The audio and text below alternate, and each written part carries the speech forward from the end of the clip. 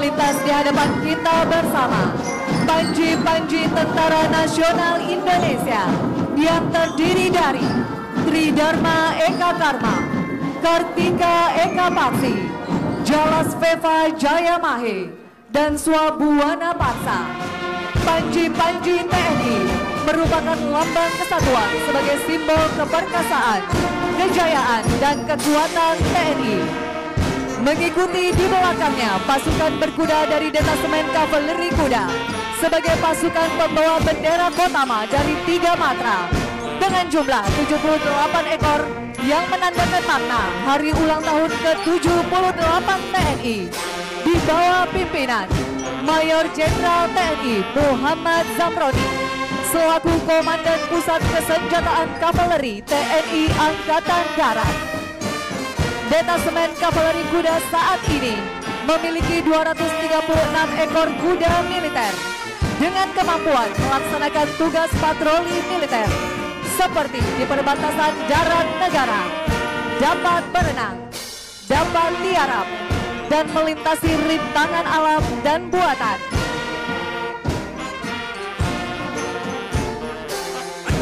Dan dalam tugas protokoler, kuda militer kavaleri ini sangat tepat digunakan untuk patroli di Istana Negara dan menyambut tamu negara.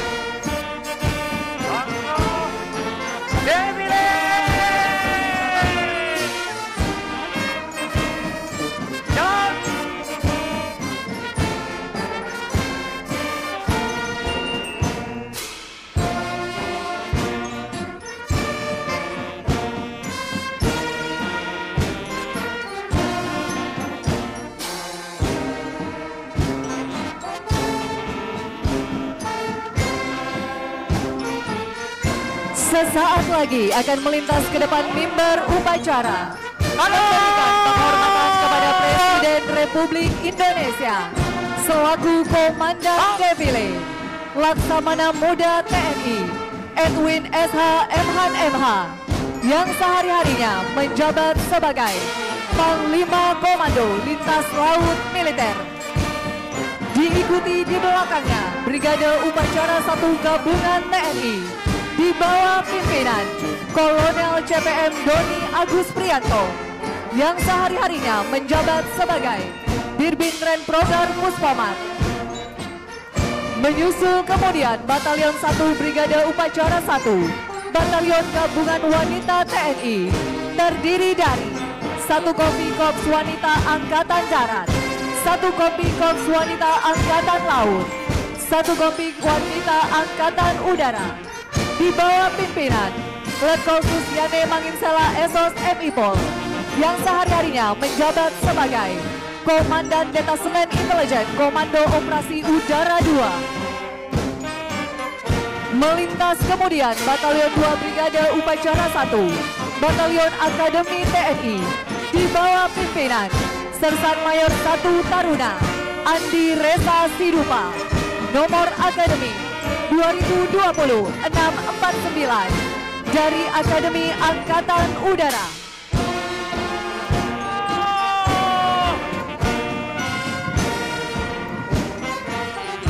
Ah!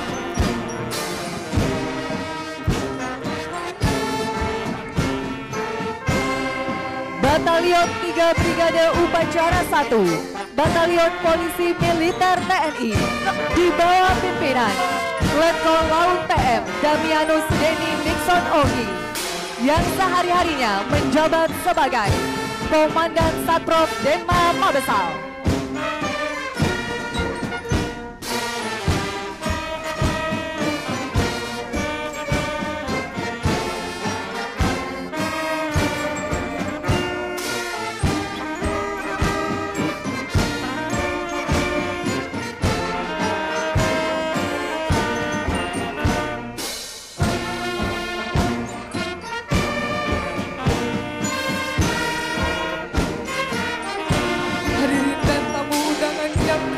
Kami hormati Menyusul selanjutnya Brigade Upacara 2 TNI Angkatan Darat di bawah pimpinan Kolonel Infanteri Ronel Janda Wardana yang sehari-harinya menjabat sebagai Komandan Grup 1 Kopassus.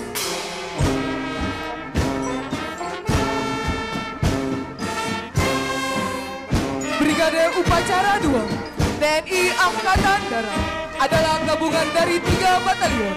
Batalion 1, Brigade Upacara 2, Batalion 13 Grup 1 Kopassus, di bawah pimpinan Mayor Infanteri Yuda Fuadi Putra, Eskop MIP, yang sehari-harinya menjabat sebagai Komandan Batalion 13 Grup 1 Kopassus.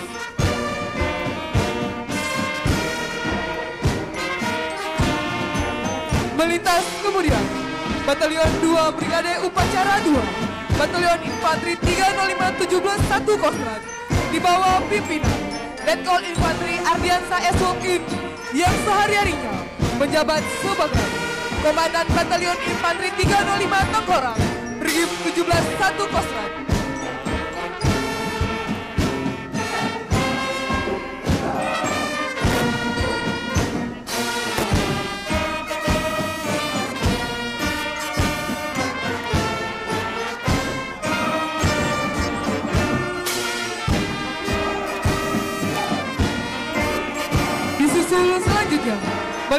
Batalion 3 Brigade Upacara 2 Batalion Infanteri Mekanis 203 Area Kemudi.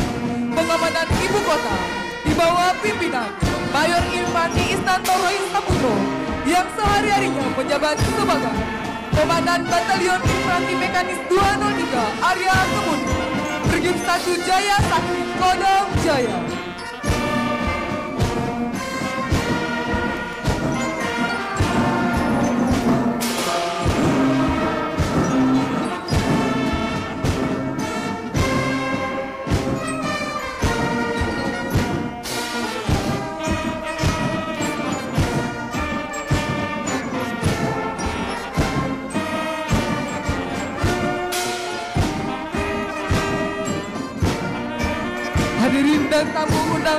kami hormati, Brigade Upacara 3 TNI Angkatan Laut di bawah pimpinan Kolonel Marinir Anak Agung Gede Agung Jaya Putra yang sehari-harinya menjabat sebagai Komandan Lanmar Surabaya.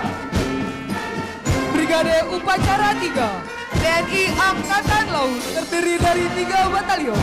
Melintas kemudian Batalion 1 Brigade Upacara 3 Batalion Armada RI di bawah pimpinan Letkol Laut Pelaut Galinurna Putra yang sehari-harinya menjabat sebagai Komandan TNI Teluk Gilimanuk di 531 Safin Armada 1. Melintas selanjutnya Batalion 2 Brigade Upacara 3 Batalion Pop Marinir di bawah pimpinan Letkol Marinir Arif Bastian Sanusi Cainanggo yang sehari-harinya menjabat sebagai Komandan Batalion Infanteri 4 Marinir. Disusul kemudian Batalion 3 Brigade Upacara 3, Batalion Kolin Lampung yang di bawah pimpinan Letkol Laut Melaut Yuda Tresmoyo SEMTN Ofla yang sehari-harinya menjabat sebagai Komandan KRI Teluk Yutefa 522.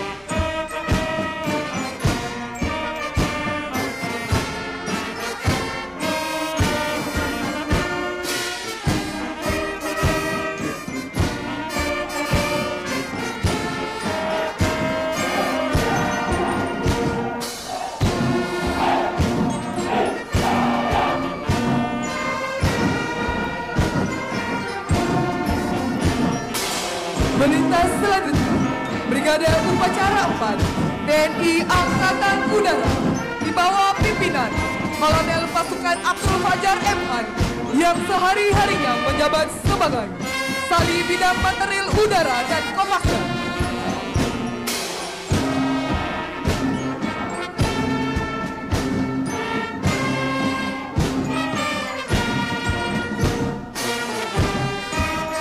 Melintas Batalion 1 Brigade Upacara 4 Batalion RQ di bawah pimpinan Letkol Pasukan Anam Kurniawan MH yang sehari-harinya menjabat sebagai Komandan Batalion Komando 462 Kopasgat.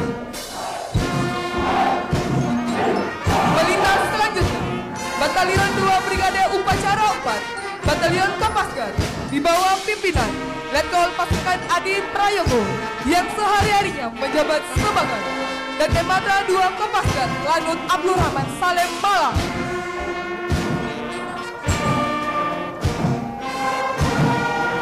Disusul kemudian Batalion 3 Brigade Upacara 4 TNI Angkatan Udara di bawah pimpinan Letkol Pasukan Binsar Purba SH yang sehari-harinya menjabat sebagai Danen Hanut 477 Kopasgat.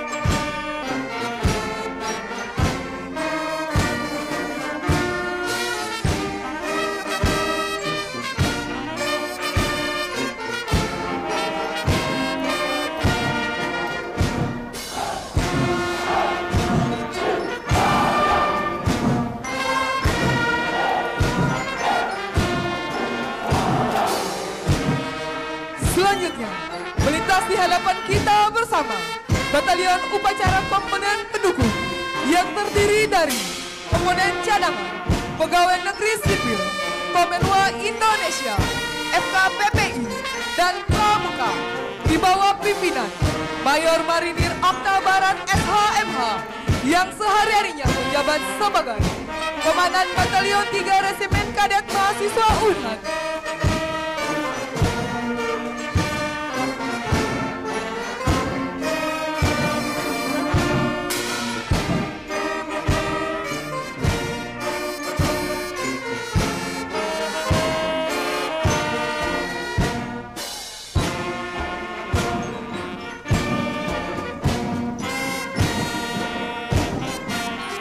mengakhiri defile pasukan dan memberikan penghormatan kepada Presiden Republik Indonesia adalah pasukan kritikal di bawah pimpinan Lettu Kapolri Joni Hartono, Jabatan, dan Tonwal Denma Korem 052 Wijaya Krama Kodam Jaya.